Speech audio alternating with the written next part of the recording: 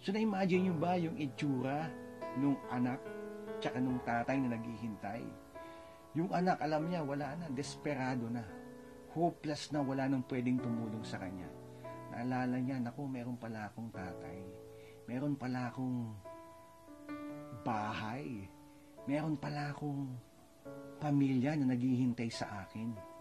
So nung nakita niya ang kanyang ama, anong ginawa? Nandun naghihintay ang ama niya sa kanyang pagbabalik. And the Bible says, that son, when he was going to that place, to his, to his house, to his father, the Bible says, the father ran to his son and then through his arm, talagang hinagis to, binata yung kamay, hindi. Through his arms around him and kiss him. No, ano pong ibig sabihin nun? Let us leave our sins. Let us get up and meet Jesus.